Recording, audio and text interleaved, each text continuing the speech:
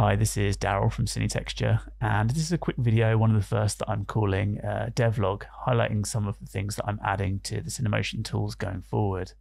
So far, the feedback has been brilliant, and one of the things that I'm always doing is trying to find ways to improve it, both in terms of sort of usability and features, and also for people that are interested in Cinemotion, helping them understand how the tool works and how it can be customized and used in their own projects. One of the things I'm often asked is what do the cameras look like? And traditionally, that's quite hard to showcase because I've had to point them to a directory of pre rendered videos. And that's quite difficult in Windows or on a Mac to scroll through all of these cameras. And one of the advantages of being in a real time context is that you can customize the motion in terms of the influence and the weight and the speed, but also the framing, so the camera lens and the focus and things like that. So that customization doesn't really come across in videos. So I've decided to make this tool, which I'm calling KitRoom, which will be a free downloadable exe, almost like a demo, but also uh, a tool if you own Cinemotion to browse through the camera motion and get a better sense of all of the different types of motion layers. So this is where I'm currently at with the standalone app. I'm just going to hit play. And you can see it's got a very simple interface. Uh, we've got a list here of all of the camera takes that come with the package. So you can click between these and then you get an instant preview of what the camera is doing. And one of the other things that I wanted to add here is the ability for you to customize the camera motion like you would in a sequencer.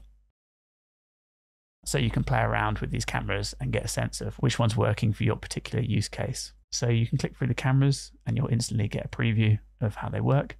And you can also change the focal length. And there's also a focus thing as well. So let's just bring this into focus. Something like that.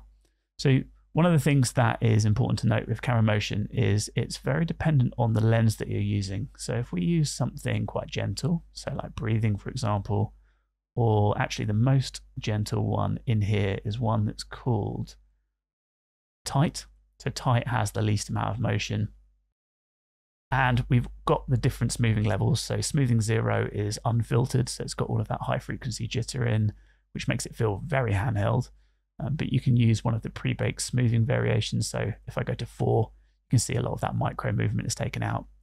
So if we're on a wide uh, focal length, the motion is not very pronounced. But if you're using a longer lens, you can see that the uh, motion is, is much more obvious.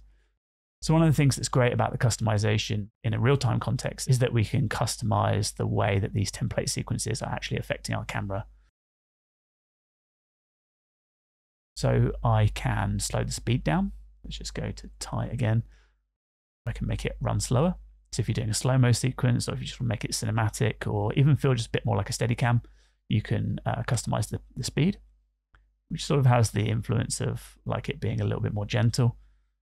So you can do that.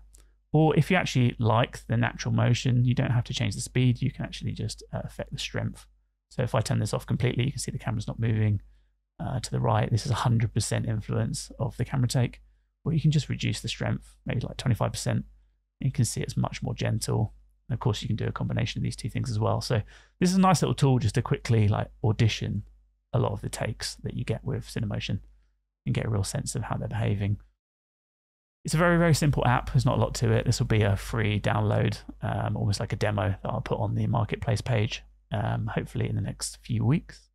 It's almost done. The only thing I want to add here currently is just showing the idle sequences. You also get a bunch of clips that I call framing moves. And framing moves that are almost like introduction shots or establishing shots. They're more bespoke than these ambient motion layers. So things like pans or tilt ups.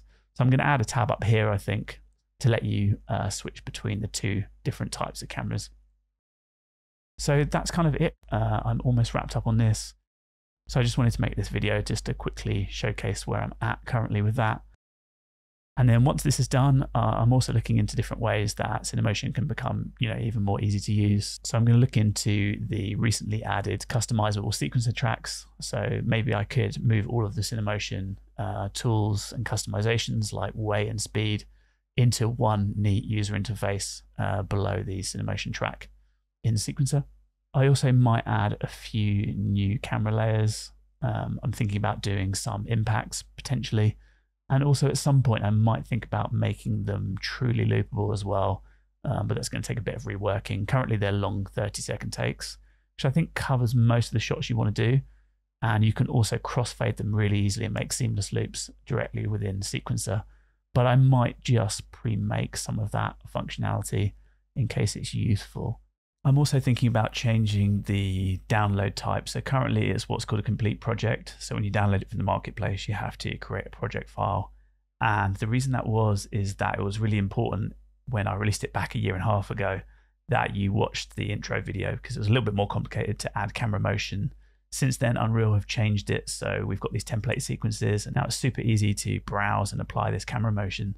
So I think I might change it from a complete project to an asset pack so that you can then just hit the add to project button. It should make it a lot easier for people to add it to their projects without having to do the migration. So that's about it for this video. If you want to keep up to date with what I'm doing with Cinemotion, feel free to subscribe to this channel. Otherwise, just keep an eye on the Cinemotion product page and there should be some new updates very soon.